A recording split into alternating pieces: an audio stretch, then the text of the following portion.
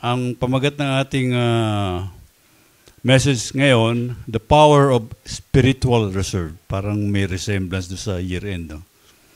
So, natapat lang po yan. No? So, ating basahin po sabay-sabay. Nakit, kung nakita na po, say amen. Okay?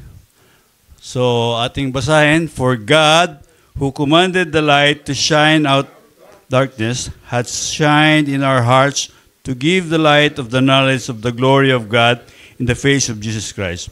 But we have this treasure in earthen vessels, that the excellency, the power may be of God and not of us. We are troubled on every side, yet not distressed. We are perplexed, but not in despair, persecuted, but not forsaken, cast down, but not destroyed, always bearing about in the body of the dying of the Lord Jesus, that the life also of Jesus might be made manifest in our body. Alam nyo, sa Saudi, pag nagta-travel kami sa Alcobar, naging uh, style ko na na kahit na half pa yung aking gasolina, pag may nakita akong gasolina, nagpupultang ulit ako. Kasi malayo yung, ano eh, yung Riyadh to Damam eh, that's 400 kilometers, no? Kasi, kung saan kami nag-stop over na tiyempo doon, magpo-full tank na ako kahit half pa. Kasi hindi natin alam kung saan ang susunod na gas station. Especially before, wala pa mga Google, uh, Google, Google na malaman mo, oy, may gas station. At kung meron man, minsan walang, wala pa supply yung gas station na yun. So, mabuti na na mag mag uh, full tank ka na ulit para in case mas malayo-layo pa yung susunod, hindi ka kakaba-kaba. Alam ni Brad Louie, eh, na, nangyari sa kanila ni Pastor Jack, eh, na para, uy, wala nang gasolina, di ba? Tapos kukunti na lang. So kakaba-kaba ka kasi mahirap ma-stranded sa disyerto. Disyerto yan eh. At ang highway doon talagang diretso, walang mga bahay sa, sa tabi. Di katulad dito, pag nag-travel ka sa province, di ba? May mga bayan-bayan. Doon, hindi ah. Eh kung natapat ka pa na ano, summer, patay ka. Di ba? Ang hirap. So hindi ka natatakot kasi meron kang reserve. Kasi minsan din, yung next na gas station nga, hindi, hindi nga laging, sigurado ka yung susunod na gas station, may supply sila ng, minsan diesel yung available lang eh. So, paano yun? Disgrasya ka na nun.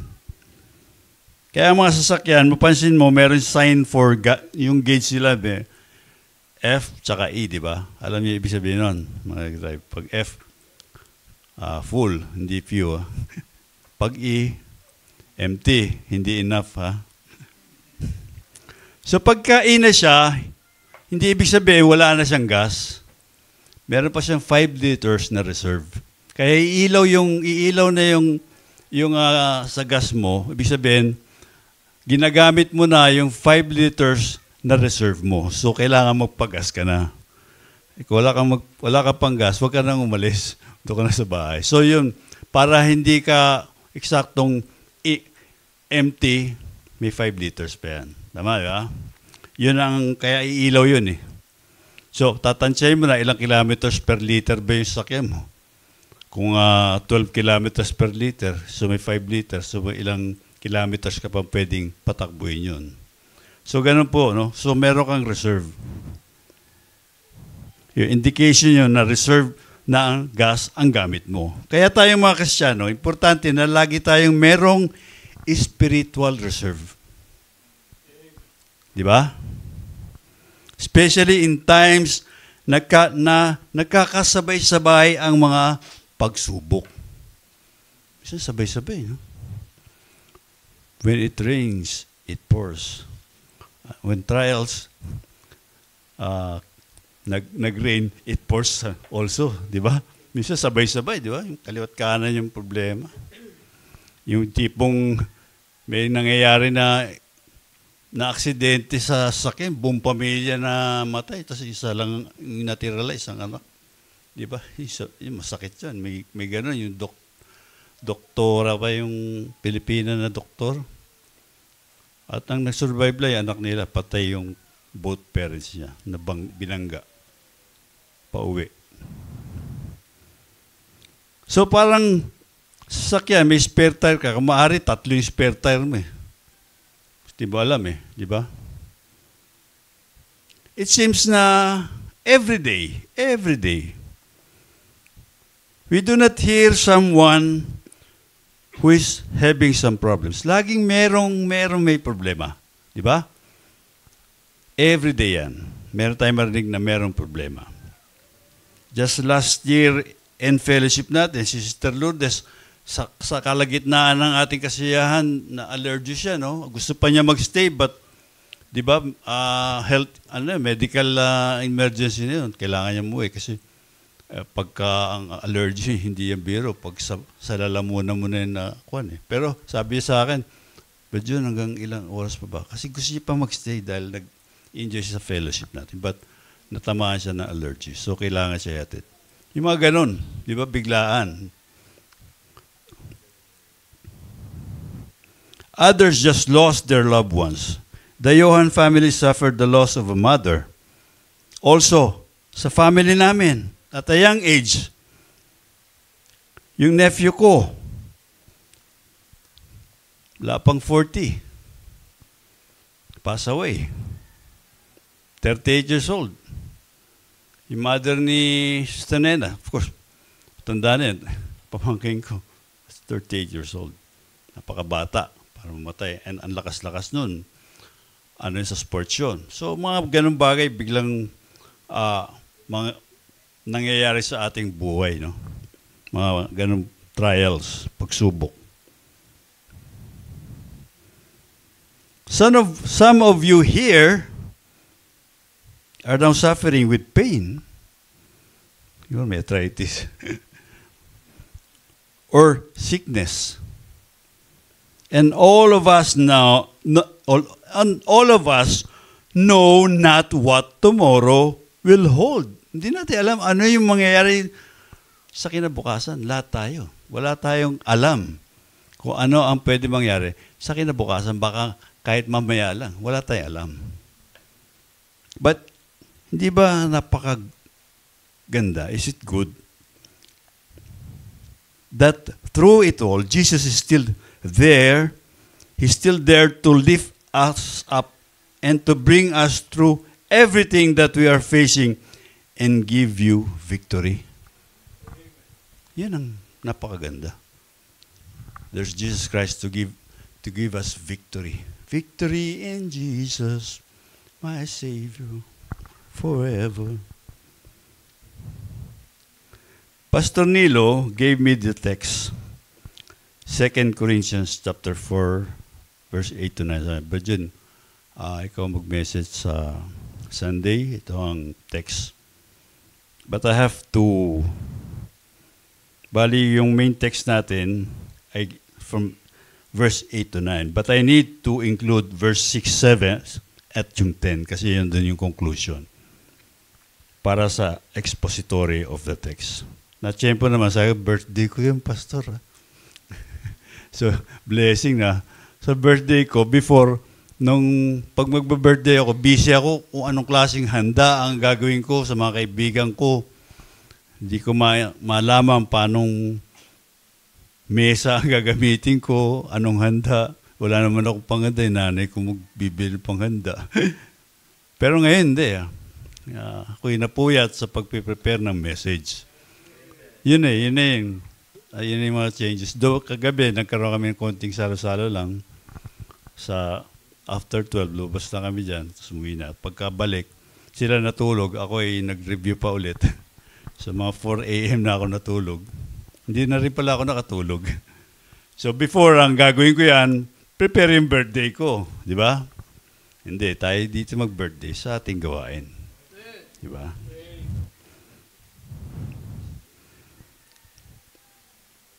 I think that God wants to encourage us today, you and I, it is not it is not his will that we should be overcome by the cares of life. Hindi niya will na tayo ay ma-overcome ng mga, mga pagsubok dito sa mundo. He wants us to know that no matter what happens, it all has a purpose.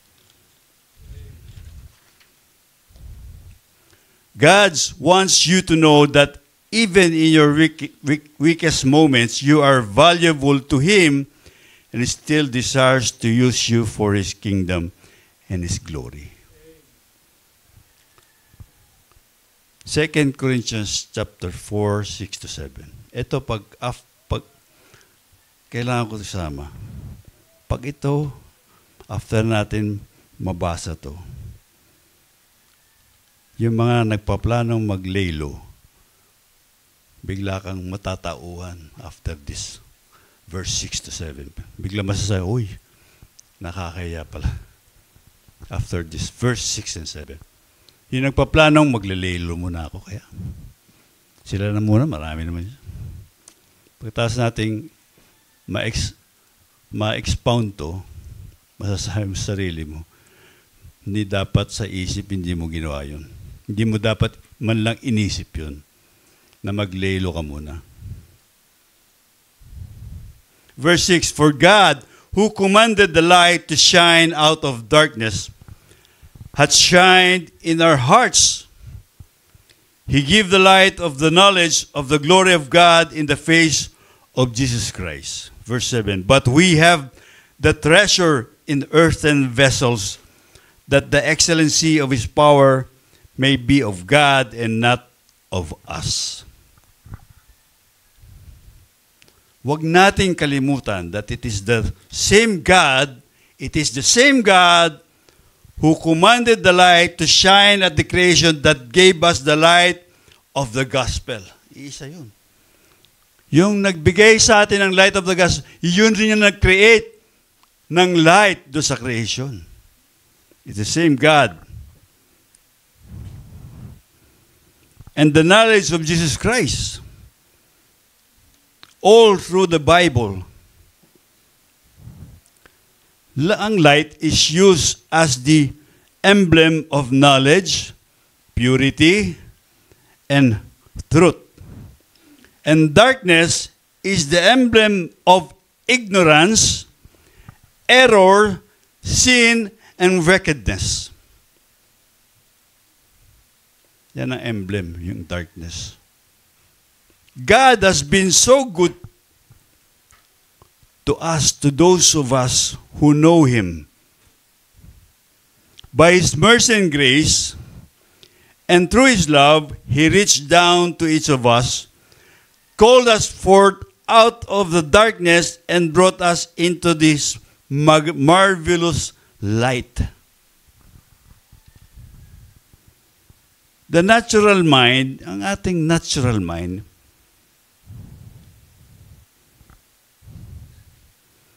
by nature, ignorant yan. Nasa darkness yan. The mind of a sinful man is just a dark and barren as Genesis described the earth in the beginning. But before I continue, I'd like to acknowledge Pastor Jason May at ang Desiring God where I got some contributions sa ating preaching today. Ah? Uh, Pastor Jason May.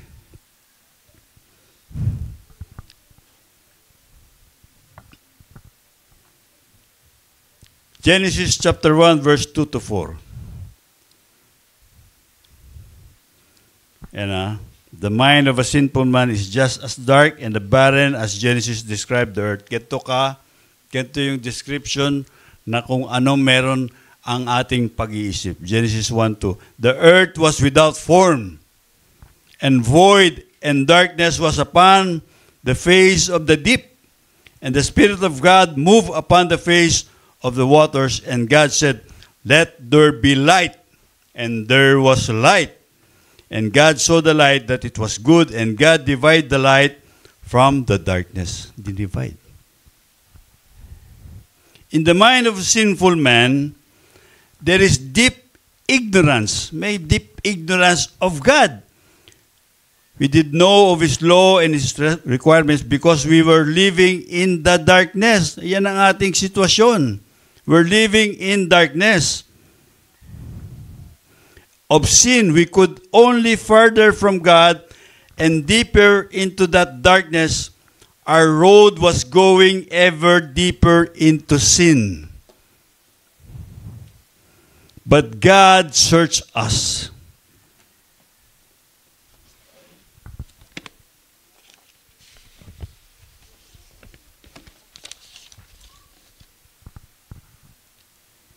God searched us, searched us out and chose to send His light into our minds. Binigyan tayo ng ilaw. He helped us to see things as they really are, all because of His mercy and grace. Kaya tayo may different point of view. Ang tunay na Kristiyano may different different point of view about everything compared to the people of the world who don't have personal relationship with the Lord Jesus Christ. Meron tayong, ang Kristiyano, ang totoong Kristiyano, meron siyang different point of view. We see everything differently. The worldly man doesn't see anything beautiful about going to the church and serving the Lord. Walang maganda para sa isang hindi nakakilala sa Diyos. Pumunta ka rito. Wisi ka maaga. They don't see the beauty of our Lord and Savior. They don't understand what the gospel is all about. Ganyan rin tayo nun. They don't see any value in sitting for an hour and listening to the Word of God. Walang value. Mag-upo ka dito. Kaya nga pag unbelief, talagang peke ka Kristiyan, hindi ka makakatagal. Umupo ka na matagal dito, pinaparusahan mo sarili mo. But they don't, because they don't see value of sitting here for an hour, listening to the Word of God. They don't place any confidence. They don't place any confidence in the promises that God has given to us. Hindi nila kaya kantayin standing on the promises. Hindi nila kaya kantayin yun kasi they don't have confidence on the promises of God. But tayo, pag kinakanta natin, di ba, nako-comfort tayo, standing on the promises of They don't see any confidence on that.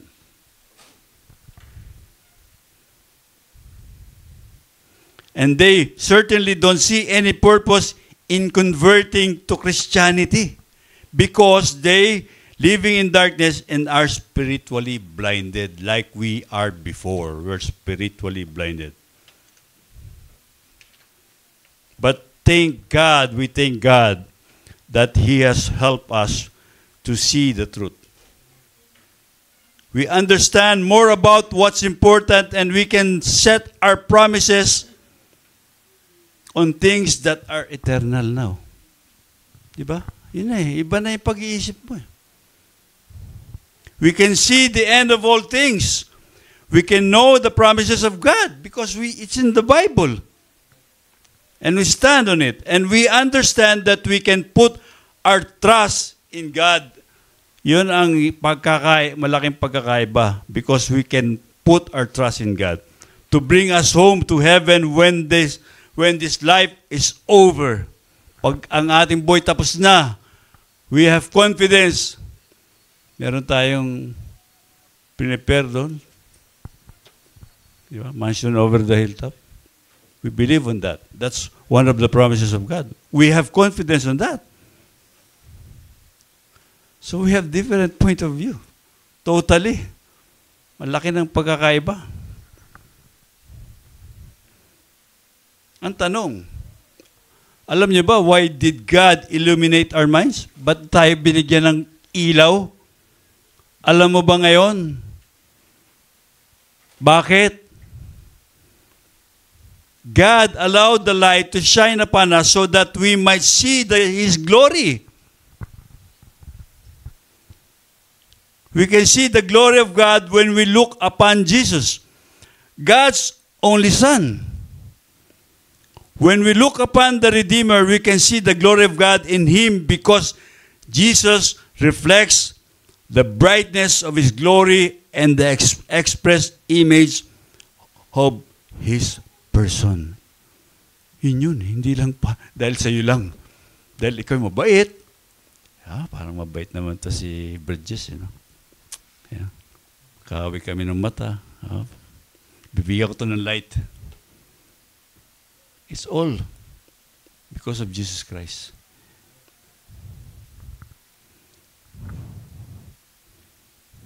God has turned on the light inside of us.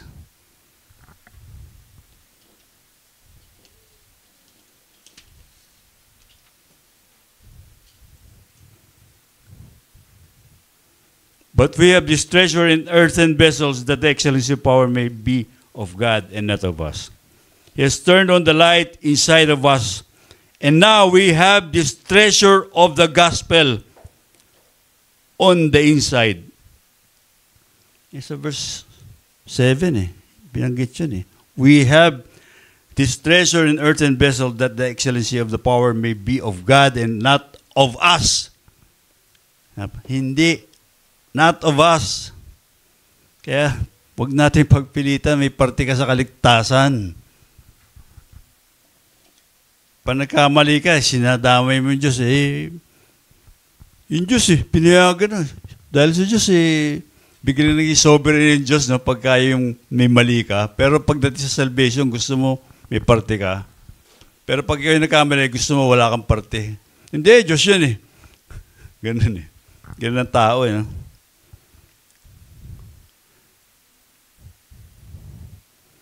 God has turned on the light inside of us. We have the treasure of the gospel on the inside. The treasure that God has put inside you and me is so valuable that no price can be placed upon it. Wala pong presyo yan, yung presyo na inilagay sa ating puso. How much is a soul worth? Magkano ba ang uh, worth ng isang kaluluwa? Meron, bibili na ngayon, tao to. May ganung tao, no? nang bibili ng tao. Kano ka? Magkano ka? Kanong kaluluwa mo? Meron bang presyo? How much is the message of salvation worth? Meron ba? It cost everything that heaven had to offer, and yet the gospel message is distributed inside of you and I. Imagine, walang presyo yan. Pero, tayo binigyan ng gospel, ng understanding of the gospel. It's now inside us. Inside of you right now is the most valuable treasure in the universe. Kung sinong nakakita ng gospel, you have the most valuable treasure in the universe. Ano yun? Understanding what is the gospel. Nandito sa puso natin.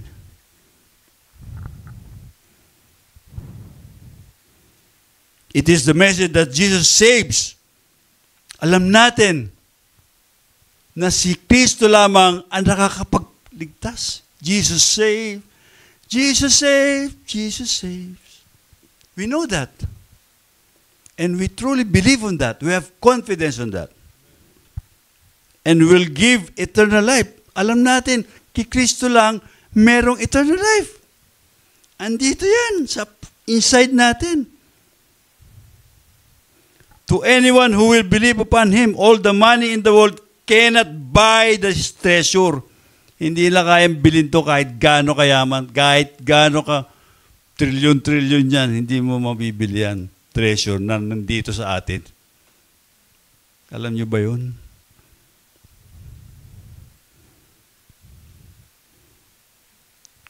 Walang presyo, but it is freely given to us by the by God's grace and mercy. Tayo ay nabigyan ito. You and I, so that we may share it with the whole world. Yan ang purpose eh. I-share natin. At magkaroon rin sila ng ganong treasure na gospel inside. But God chose to put His most valuable treasure inside you and I. Imagine, We are the depository of that treasure, of the precious gospel. And we are no more than an earthen vessels, like a piece of weak pottery. We are weak and feeble with bodies that are constantly decaying, growing old, and dying. We are as fragile as tin glass and liable to having accidents that cause us to be broken and shattered in addition to being weak and fragile. We are completely undeserving. We are completely undeserving of this treasure and unworthy. And yet, God gives us the priceless treasure to hold. Kung meron kang treasure, saan mo ilalagay? Sa babasagin na paso. Di ba? Punta ka sa bangko, yung mga uh, safety deposit na talagang safe na safe. Doon nilalagay. But God chose us to put His treasure in us. Unworthy naman tayo. Ganon yung ating uh, natanggap na knowledge of the gospel.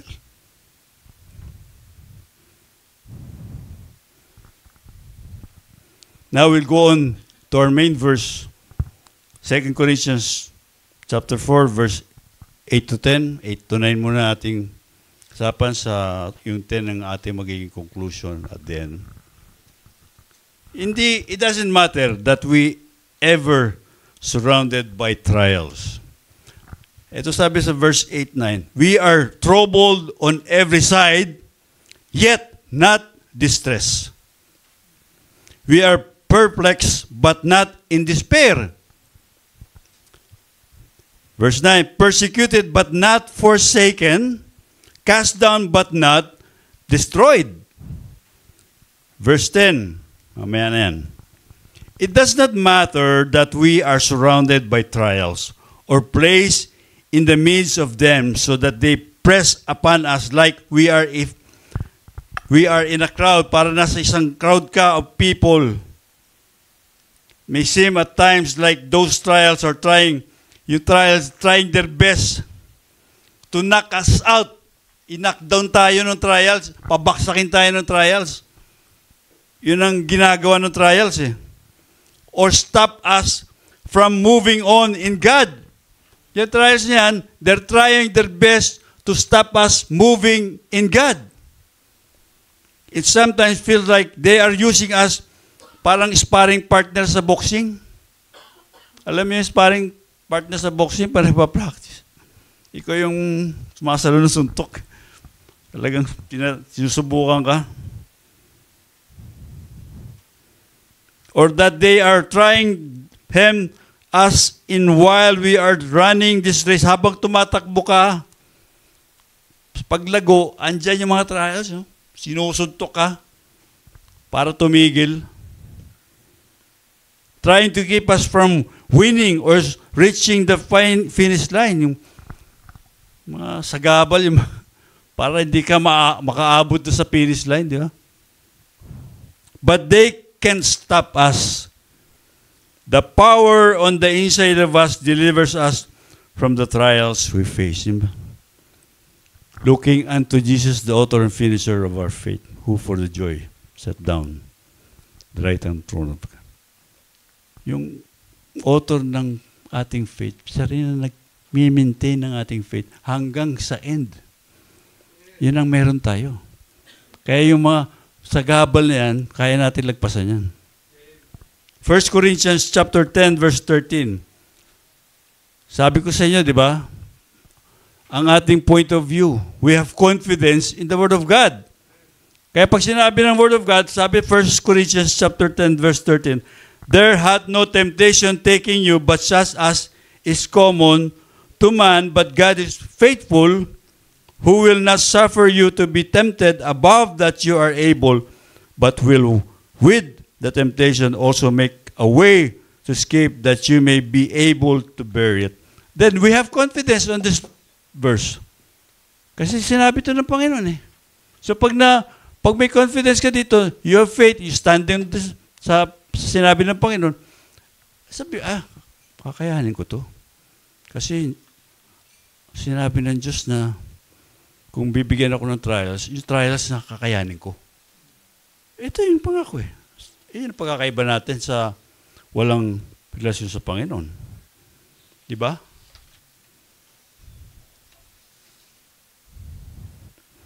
Si Paul says that though he may close pressure, pressed by persecution, alam natin, persecution ni Paul, grabe, di ba? And trials, yet he was not so locked up that he could not move on. Di siya tumitigil. His trials could not stop him from serving the Lord. He still had a spiritual reserve of power. Lagi siya may reserve eh. Parang yung sasakyan natin, meron tayong reserve.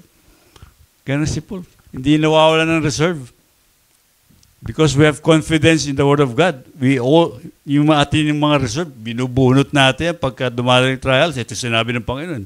Ba't ako mag-aalala? Eh, kung wala kang ganun. Eh, bulakbul ka eh. Spiritual reserve of power on the inside and that power of God permitted him to move on. His energy and desire to serve the Lord could not be stopped. The fire in the heart to serve God could not be put out. And God always made a way for him to keep on keeping on. Na, na, na perflex ka na ba? Have you ever been perflex? Alam ba yung perflex? Being perflex means that we feel like we are without resource. Parang wala tayong resource to know what to do. Parang, ano bang gagawin ko? Ganon eh. Or not to do. Ah, wala kang gagawin. Or to hesitate. Eh, perflex. To be in doubt and anxiety. That's being perplexed. Yung wala ka siguro, ano, dito ka. Nangangapa. As a travel who doesn't know. Parang nagtatravel who doesn't know the way. Drive ka lang, di mo alam paano pumunta, di ba? Wala kang ways. Meron ka man, naglobot yung ano mo. Ganon eh, yan ang perplex. Parang wala kang kasiguruhan, magulo or who has lost his means of transportation na walang ka na sasakyan. Ninakaw. Kinarnap. Mayroong mga sometimes circumstances that are embarrassing to someone who is supposed to be the leader of the flock often don't know what to do or what course to take. A lot of time we find ourselves surrounded by people who don't understand, who can't see what we see, or don't have the vision that we have, and we aren't careful, we will begin to listen to them too much to what they have to say. That's what I call perfect. Yung hindi mo na alam sino pakikinggan mo, siguro ito, mas mag- magaling magsalita, dito na. Ito siguro tama. So, wala ka nang, wala kang fix o basis ng ano dapat ang uh, gagawin mo. Perfect. Not, pag ikaw kristyano, ano ang final reference mo? Bible, di ba? Scripture. Ganon. Sigurado ka eh, doon ka eh. Pero yung perfect ka, kung sino yung magaling magsalita, doon ka, ay, parang okay ito magsalita. Ganon. Ganon misa, no? who can see what we see. Tapos, you listen too much to what they have to say. That's why I call perfect. Nakikinig ka na ng kung ano sabihin nila. Sige, sige ka na, ah, okay, no, parang tama yun. Okay yan. Ang tawag doon, walang sariling disposition. But when we don't know what to do, when all of our resources seem to fall, somehow Jesus always brings the answer and we are saved from the absolute despair. Yan ang pagkakaiba ng Kristiyano. Sa hindi Kristiyano. Wala silang ibang takbuhan eh. Pero tayo, di ba? Even the prodigal son, sa huli, Di ba? Bumalik pa rin siya. Pero kung siya hindi, ano, wala yun. Tuloy-tuloy yun, pariwala. Ganun eh. Eh, tananggal na lang yung pride niya. Balik siya. Ito talaga, dito. Dito talaga. Panginoon tayo. David said in Psalms 37:25, I have been young and now am old. Did old, yet have I not seen the righteous forsaken, nor his seed begging bread. So we have confidence on this word. So, ang totoong kristyano, hindi, hindi, magkaka, hindi mangyayari, wala siya nakita na righteous forsaken, na pabayaan. Diba? Or nagbeg. God's people always face some kind of persecution. But God always produces a way to save them from the hands of their enemies. Yung story ng Israelites. Lagi silang napapahamak at at the end, Panginoon, eh, sasalba pa rin sila. Di ba? God always, hindi mo lang alam kung kailan. After 3 years, 40 years, 40 years nga sila nag-wilderness, di ba? Ano pa kaya 8 years? But God always has a purpose. At at the end, iligtas pa rin niya yan eh.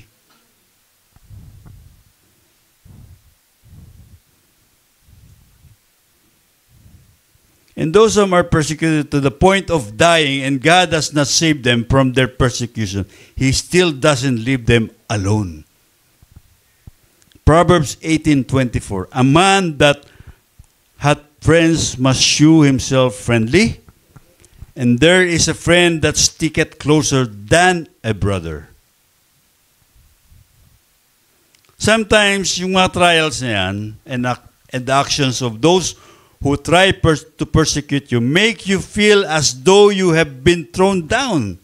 Parang itinapong ka, no? Pag nape-persecute ka. Lalo sa pamilya, ikaw, ikaw lang yung naging born again, di ba? Iba dating sa kanilang born again. Parang, sabi nga sa akin ng father ko before, no? pero hindi naman ako ganun pinersecute, sabi.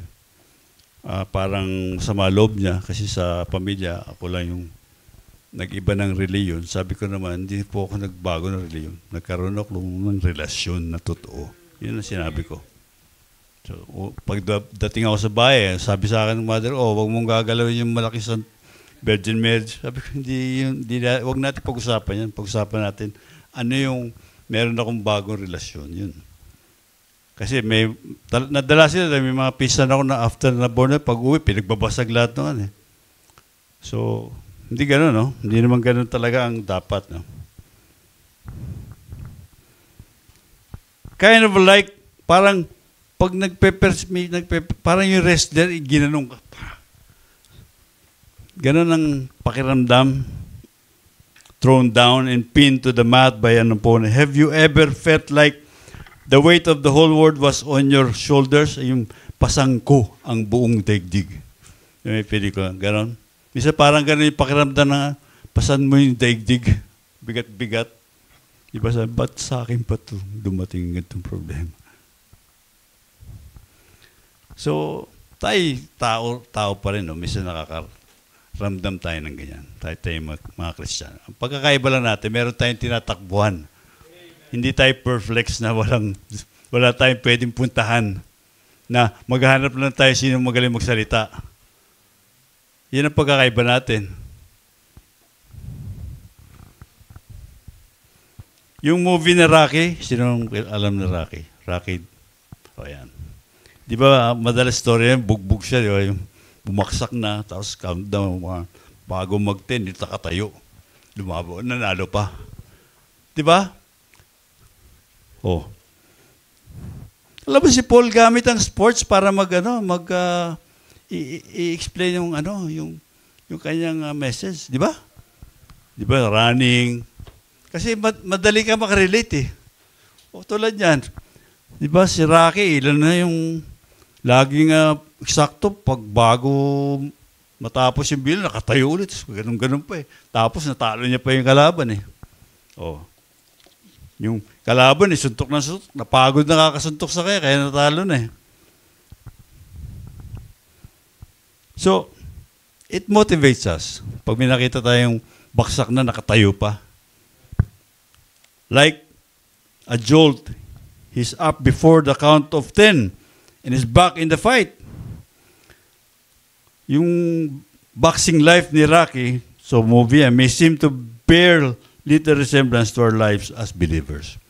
Though we encounter battles, we don't train intensely for them.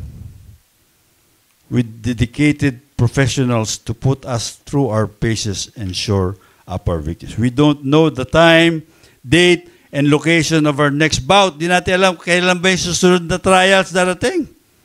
Such that we can show up prepared para mapagandaan natin. Di ba? Katulad yung laban, may schedule talaga ng laban, kailan yung laban mo. But yung trials, hindi, wala schedule eh. Minsan, tahimik, bigla na lang darating yung trials. Our battles are spiritual, seemingly pending and the compa- pending the comparison. That is why we also need the power of spiritual reserve. Eh, dapat tayo merong laging baon na reserve. Marami tayong bala. Or having a spiritual reserve like gasoline sa ating sasakyan. But as the Paul showed, boxing, like running, provides a vivid metaphor for the Christian life. And then 1 Corinthians chapter 9, verse 26. We will be we will get hit. Tayo tatamaan. We, you will get hit. We often don't see it coming. Hindi mo nakita na darating pala. It could be a health crisis. Loss of love, loved one, employment shake-up, nawala ng trabaho, na-betray, na-scam, or some form of persecution, or maybe it's something we're aware of something was we thought was mild or temporary, but it hits when it morphs from hill to mountain. Ang tanong is not whether we will find ourselves in a battle, but when. Kailan ba darating yan? Sabi ni James sa James 1:2, My brethren, count it all joy when you fell, fall into diverse temptation. When, ha? Pag. Bakit count it all joy? Pag ikaw ay nag-struggle sa mundong ito na hindi na mundo, ibig sabihin talagang ikaw ay nakikristo na. Kasi hindi mo na to mundo. Yun yun eh. You are, we're struggling here because it's our temporary home now. This world is not my home and we're just passing through. Di ba? Yan ang kanta ng Kristiyana. Hmm. Iba sana, hindi na matapos ang mundo. But we, sabi, sana rapture na. Meron tayong ano eh, looking for that blessed hope, the glories of appearing of a great God Lord Jesus Christ, a great God. Yun ang atin eh, looking for that blessed hope. Ano yung blessed hope? Yung rapture eh. Yun ang ating eh, tinitignan na ngayon, hindi na yung ano, gano'ng tataas ang dollar o yung iyong uh, stock eh. Hindi yun eh. Importante na sa atin eh, looking for that blessed hope. Ganun ang kristyano. You will be get, you will get hit The question is not whether we will find ourselves in a, kailan. Pero pag ikaw may the power of spiritualism, kanda ka. Kahit kailan man dumating yan. Paul likewise says, it's part of our privilege as believers. Ito hindi naintindi na iba eh. Hindi porkit na kristyano ka, hindi ka na Sabi, sabi ni Paul, it is part ng ating privilege ha, as believers. It has been granted to you that for the sake of Christ, you should not only believe in Him, but also suffer for His sake. Philippians chapter 1 verse 29, For unto you it is given in the behalf of Christ, not only to believe on Him, but also to suffer for His sake. If you don't suffer for His sake, you are not a true follower of Christ. Ano gusto mo ma? hayay-hay lagi ang buhay ng Kristiyano. Parti po yun ng pagiging Kristiyano, pagiging followers of Christ. That we will also suffer. Moreover, we have an energy enemy who's yung ating kalaban eh, may specialization eh. Yung uppercut na punches, special, para bumaksak ka eh, di ba? He schemes how he will execute, watching for opportune times, hitting when he thinks it will connect with force. Nothing touches us apart from the sovereign sanction of the Lord. The Lord uses it for His purpose and for our good, but there's a reason He tells us to remain fully clothed in His armor, full armor of God. Forces are arrayed, arrayed against us, shooting fiery arrow, fiery arrows. There are times we will get hit. Matatamaan tayo kahit anong ihilag mo. We may go down. Maaari tayong bumaksak. Pag tayo tinamaan, which has a force that we are knocked down. Life takes a hard hit and the, the effect is tantamount to being thrown face down to the ground. The circumstances, the circumstance is devastating sometimes. The pain excru- excruciating. Try as we might in that moment, it is difficult to grab hold of any semblance of joy or hope. The apostle wrote 2 Corinthians chapter 4, 8 to 10. Ba, nag, nag, ano, nagdoble.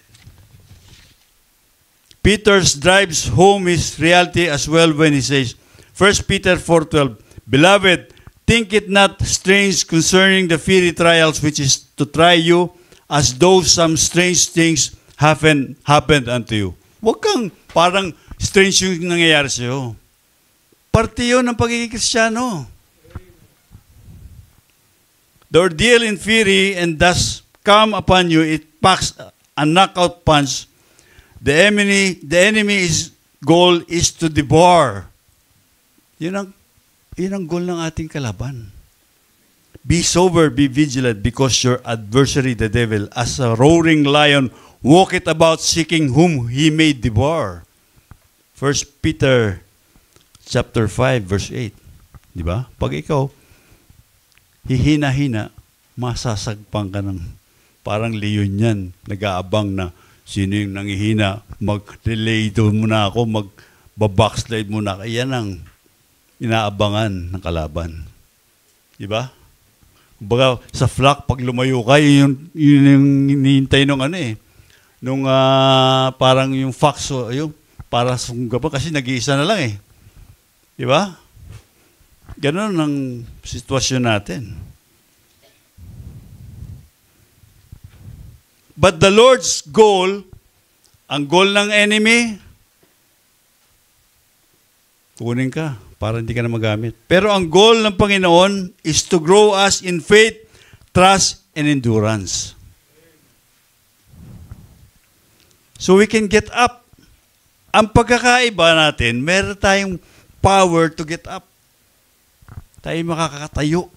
When we are hit hard and knocked to the ground, it feels as if our strength is gone, parang hinang-hina ka na.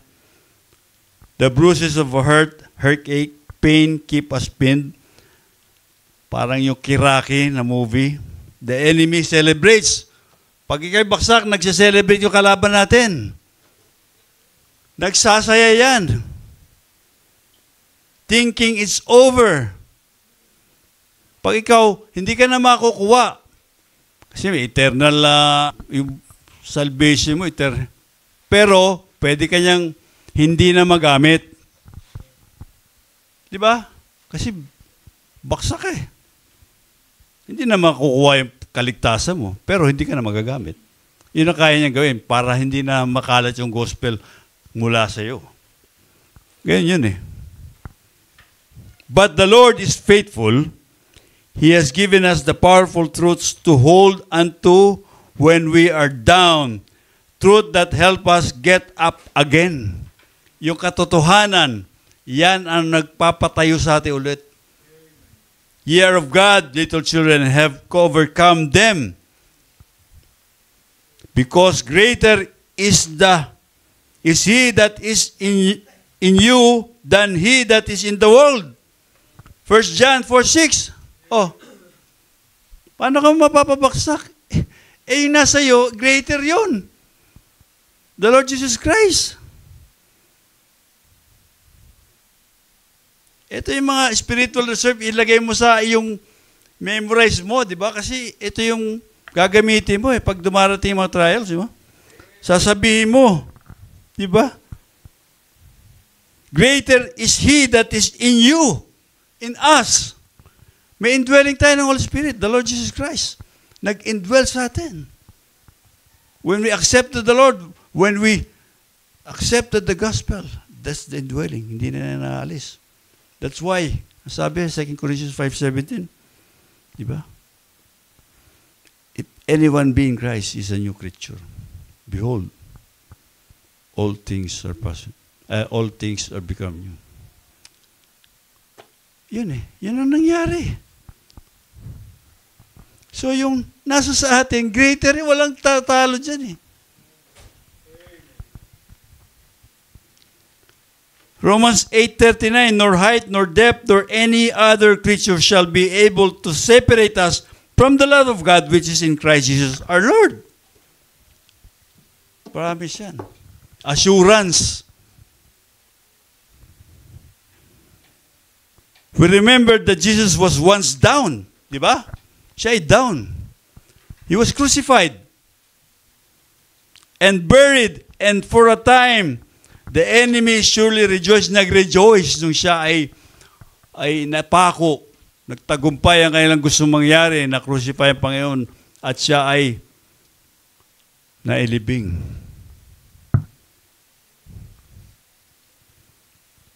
But Jesus, what happened? He rose on the third day.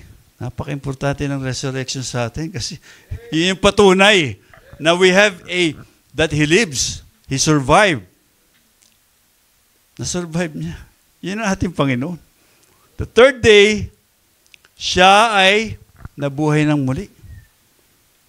And the same power that raised him from the dead is at work in us. That's the same. Yung Holy Spirit, yun. Eh, meron tayo. We get up because we've been graciously given eternal light. And what we endure in this life cannot compare to the glory to come. Like Job, he will rise again to fight another. Your strength will recover and you will be ready for the next battle. When it comes, God always makes a way for you to win, for us to win. Laging ganyan. Merong paraan ng Panginoon para tayo ay magwagi. 2 Corinthians chapter 4 verse 17 For our light affliction which is in which is but for a moment worketh for us a far more exceeding and eternal weight of glory. We never stand alone toe to toe with the enemy in our battles. Hindi tayo nag-iisa lumalaban sa ating kalaban. God is always there. Our God, mighty in power, fights for us. Showed in his armor, we stand firm. And even if we were knocked down, the truth is that he is upholding us with his hand. Psalms 37, 24, Though he fall, fall, he shall not be utterly cast down, for the Lord upholdeth him with his hand. 2 Corinthians chapter 4 verse 18. Why we look not of, at the things which are sin, but at the things which are not sin. For the things which are sin are temporal, but the things which are, which are not sin are eternal. Doon tayo nakatingin sa, it, sa bagay na hindi nakikita. Kasi eternal yon. This should be the Christian way of thinking, living by faith. Ito dapat ang pag-iisip natin, living by faith. Hindi yung konting uh, naalog ka lang eh. Pas mo na ako, Pastor. Para ang daling sabihin. Hindi mo naisip yung, there's a treasure inside you, the gospel, which you need to share. Hindi mo naisip yun? Na underserving kang bigyan ka nun, pero pinili ng Panginoon doon sa ilagay. Di ba, inilalagay lang yung treasure sa mga safety deposit box. Pero ikaw napili kang depository, then sasab- apakadali sabihin mo, sandali lang, pastor, baka mga one month lang na ako. Pas mo na ako. Ganun lang. Nasa darkness ka eh, binigyan ka ng light. Oh.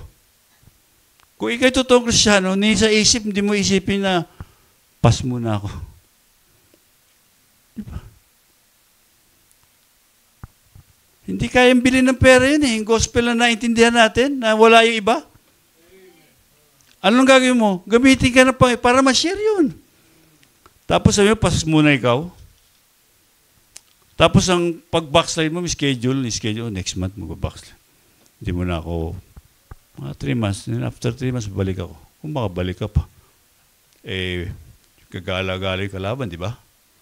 Seeking whom he may devour. Kala mo, ligtas ka, nakaabang yung kalaban. Ibabaw ang kalalo niyan. Di ba? Pero kung ikaw, nasa Panginoon, hindi ka kayang, ano yan, uh, i-deceive. Huwag mo na hintayin yung nangyari sa prodigal son, na halos nakikain siya doon sa ano, mga hayop. Na hindi mo naman dapat kailangang abutin. Pero, ang Panginoon ay mabait pa rin, talagang mapagmahal. Kung kayo bumalik, ay tatanggapin ka muli. At dyan lang, di ba?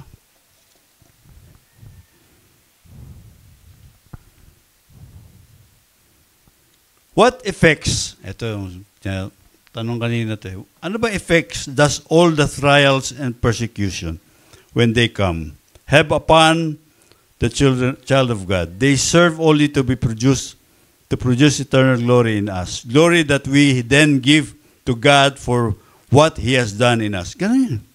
Binabalik mo yung glory sa Panginoon. Eh. Ano-ano ba yun? Ang trials tend to prevent us from the world. We learn to, dis- to depend upon God more and more. Yun ang effect eh. We depend, tulad sabi ni Brother Elvis, Minsan nagre-relax na eh, porkit okay ang mga sitwasyon eh. Hindi na nagre-rely sa Diyos eh.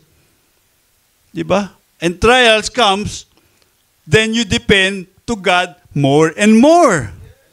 Yun yun eh. Yung sagot dun eh. Number two, they tend to help us purify our heart by helping us to break away from the sin that is displeasing to God. In effect eh. They help us to look to God for consolation and support.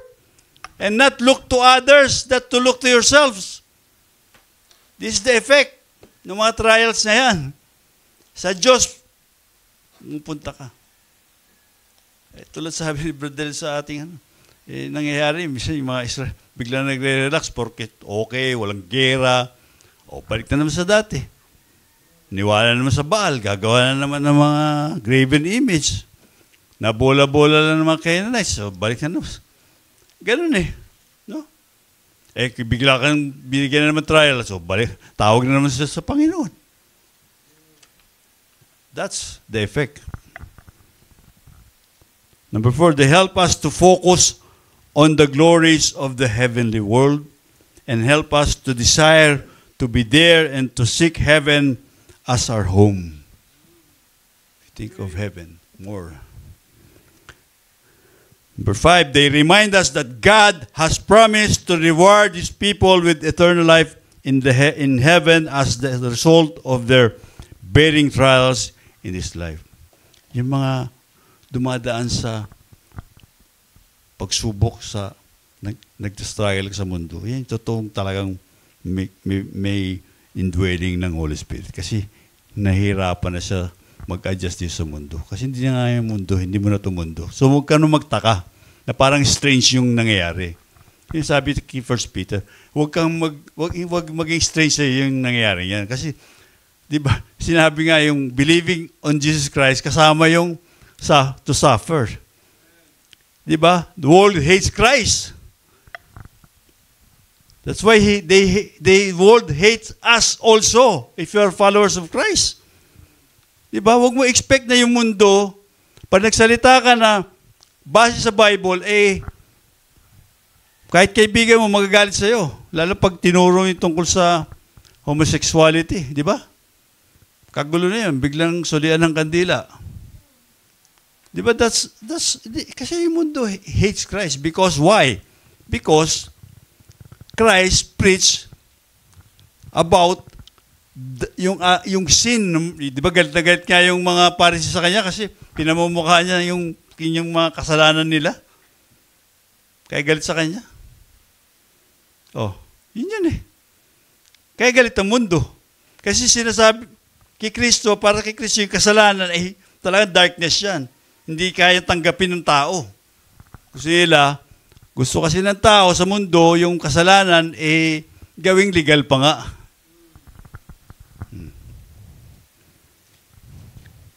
Affliction, suffering, and persecution, no matter how long in this life they may last, will last a moment compared to the eternity ahead. James 4:14 Whereas we know not what shall be on tomorrow, for what is your life? It is even a vapor that appeareth for a little time and then vanish away. Sa sementeryo, may kaba, may nichong maliit, malaki. Kasi may batang namamatay, mayroong matanda. Di ba? No matter what you are facing right now, or what you have faced in the past, or what you may face tomorrow, you have the power of the spiritual reserve which is the Word of God, to overcome it all. If Jesus lives within your heart, you have a place in heaven reserved for us. Mansion over the hilltop. Si Jesus Christ mismo ang nangako that they will prepare a place for us in heaven. Uh, Reserved, naka-reserve ha. This life may be filled with trials, tests, and all sorts of troubles, but you have the power of the spiritual reserve, is the word of God, to come through every one of them with the victory of God still reigning in your soul, and the glory that waits for you on the other side is worth anything you have to put up with now. After ng ating year, fellowship, year in fellowship, ang tanong ko sa inyo, did you start replenishing your spiritual reserve? o mas may bago kayong sinusundan na teleserye?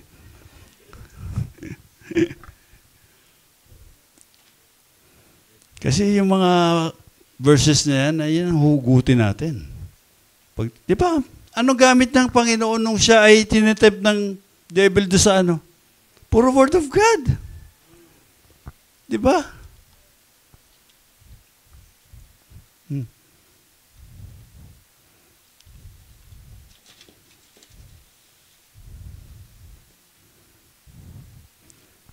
Quote siya ng quote ng mga verses. Yun ang ginamit ni na Lord Jesus Christ. Kaya importante talaga. Meron kang doctrine, meron kang alam mo yung mga pangako, yung mga kasi diyan ka, nagkakar- diyan ka kukuha ng confidence eh. Paano kung hindi ka nagbabasa? Hindi mo. Pag tinanong sa ano assurance may kailigtas? Ay, sabi ni Brad Louie, nabasa doon. Ikaw mismo magbasa. Ano, ano ba yung mga assurance of salvation na verse? Basahin mo. Kasi pagdating nag-share ka, eh, gagamitin mo. Paano sigurado sinabi ng Bible na may eternal life ako, di ba? Yung mga John 5.24, di ba? Yung mga ganon. Mga assurance of salvation na verses yan. Sa first John, di ba? It is written, These things I have written unto you that you may know Di ba? Kayo may kalig na kayo may eternal life. Yung mga assurance of salvation na ano, di ba? Kasi tayo, minsan. Pero once ikaw ay may confidence lagi sa Word of God, sa Bible, eh pag kinote na sa iyo, talagang bigla kang lumalakas. So, kung ikaw ay nag-replenish ng spiritual reserve, if you did, then you can say that you have the needed weapon against the enemy. The power of spiritual reserve, which is the Word of God. Lastly, I encourage you all to memorize ang verse na to, ang ating last verse. 2 Corinthians chapter 4 verse 10. Sabi niya, always bearing about in the body the dying of the Lord Jesus, that the life also of Jesus might be made manifest in our body. Saan nyo? Verse 6 hanggang 10, nilatag muna ni Paul ano yung binigay sa atin na treasure ng Panginoon. Para kumbaga, pag nag-isip ka na maglilaylo, maisip mo yung, di ba, pasalamat ka, kasama ka doon sa ginawang depository ng treasure na, which is the gospel, na hindi kayang bayaran. So, pa, tapos ikaw, napakadali sa yung magsabi na, uh, ayoko muna.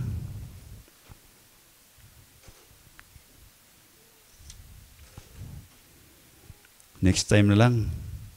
Di pa ako ready. So, well, di naman madali talaga mag-aral eh.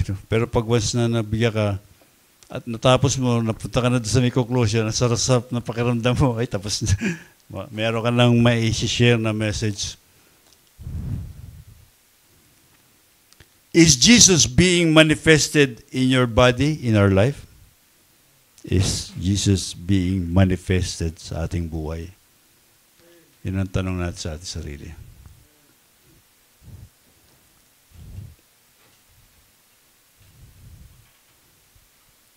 At tayo'y punong-puno ng ating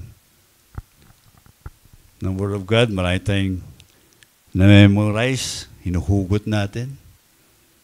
Meron tayong panlaban.